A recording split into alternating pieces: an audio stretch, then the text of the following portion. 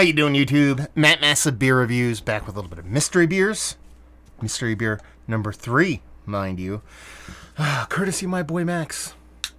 Yeah, sent off a bunch of mystery beers, and uh, this be one of them. They were paired up with the guys from Nerd Sense and Kyle from Hype Beer Reviews.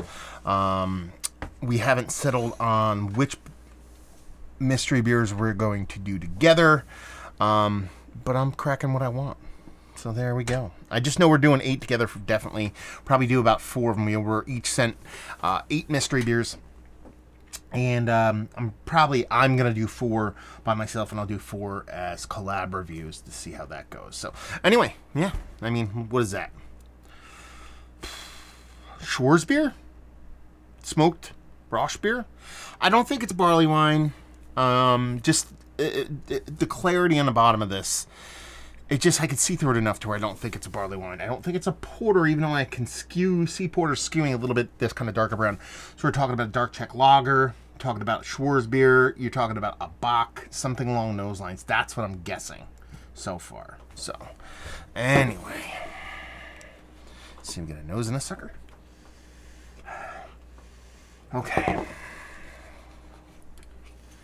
Well, it's neither of those. This be a winter warmer. That's what we have going on here. There's like um, there's like uh, winter spices, gingerbready vibes in here. A little bit of cinnamon, a little bit of clove. It's like um, it's like old Fezziwaggy kind of um, and it's in the way it kind of comes off. So it's definitely some kind of seasonal winter warmer kind of Christmassy beer, American base, not a Belgian base, I don't believe. Because sometimes a lot of winter warmers end up being like a spiced kind of Belgian quad, or even a Belgian dark or a Belgian um, double. Um, this I think is just a base kind of winter warmer um, with a bunch of Christmassy spices allspice, clove. Hopefully not allspice actually, because I think I'm allergic to allspice. So I'm gonna hope there's no allspice in it. Like I'm poopily allergic to allspice. Um, so I'm gonna go clove, um, cinnamon, graham cracker, that kind of thing going on. Let's dive in. No allspice, please. Cheers.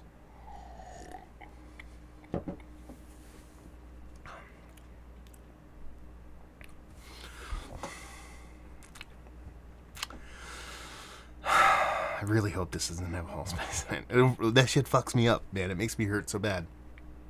I'll find out eventually. It's not gonna kill me. It just makes this like crazy prickly thing going on in my chest.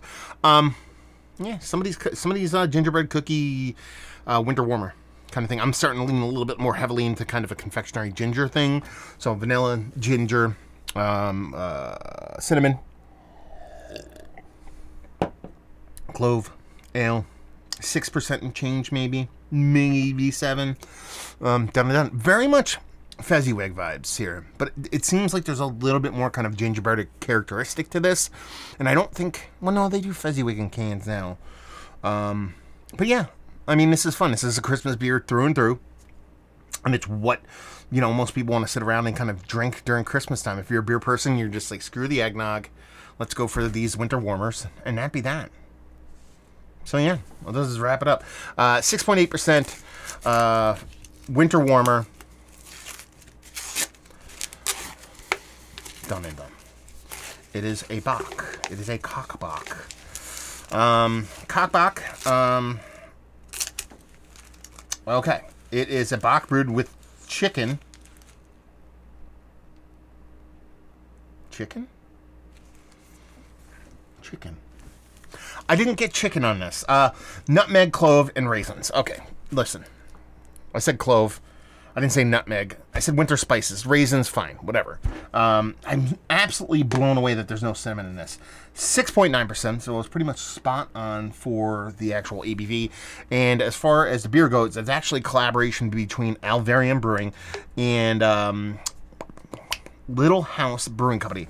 Now I'm going to read you the story time they have in here before we dive a little bit deeper. But as you can see, that's like five point font, so I'm going to have to concentrate on this one. I'm probably going to still screw it up. Anyway, it says this holiday season from a Twisted Minds Valvarium and Little House. Um, oh, I've, I've had Little House stuff before, I believe. Anyway, uh, we bring you this modern interpretation of a colonial classic, Cock Ale. Haven't heard of this 17th century delight? Bah and you call yourself an expert in all things beer. Look it up and salivate the thought of, of par parboiled rooster stuffed full of spices floating in a fermentation vessel. We figured that ales um, have all had foul fun for centuries now, so it's time for another lager revolution. What better beverage to stuff full of cock than a big bold bock? Uh, six happy chickens were mashed to the precise, uh, to be precise, and then this treat was lagered on raisin of the sun, nutmeg, and clove. And for you historical purists out there who cry foul over the hot side chicken additions, we had, uh, we added a double dry cock addition to the fermenter as well. Uh, don't hesitate, snag this feast in a glass. Each can is an opportunity for the whole family to get cock bocked. Uh, cock bock, the only bock cock full of cock. Love Little House in Alvarium. I uh, recommend t- listening to Sucking on My Tendies by Hot Dad. Uh, yeah, this is just, this is the kind of beer. Listen, I, I've had the weirdest shit on the hot side before, man. I've had hot dog beer, you know, I've had brewers make hot dogs and, um, and, uh, and the mash tun. I've had all kinds of stuff. And, uh, I've never had chicken. I've had chicken parts or chicken sandwiches or something. Like a fucking you think I don't know omnipollo or some dumb some crazy shit like that. But um, chicken, no. So yeah, I did not get chicken on this beer. Um, it is a bock with a bunch of winter spices. I said a winter warmer with a bunch of winter spices. I'm really blown away by that. There's no cinnamon in here. Nutmeg is probably what I'm picking up. In combination with a sweetness from the raisins that's my kind of def- reasoning why I didn't pick that up in general. Not a bad beer by any stretch of imagination. I am absolutely 1 billion percent happy there's no allspice in here. Otherwise, I would be doubling over in pain in about an hour. Uh, so happy camper here. Sigh of relief, but a fun beer. A f- Let's put it this way. If, if Kyle and or Mike or Sean from Nerd Sense does this beer and they call out that they get chicken on this, I'll do something crazy. I don't even know. I got to think of the thing because it's never going to happen. Um, because you'd never get that, obviously. But it's it's a winter warmer essentially. It's a Bock winter warmer. Um, like you even said at the beginning, kind of had Bock look to it, but uh, with those spices in there, really rang like a a uh, festive Christmas beer for me, and that's kind of what it is. So let's talk about it. It's one of the better chicken beers I've had as late. Number one there.